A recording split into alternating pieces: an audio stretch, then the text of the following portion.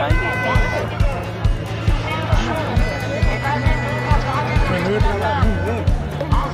wasn't pretty good to get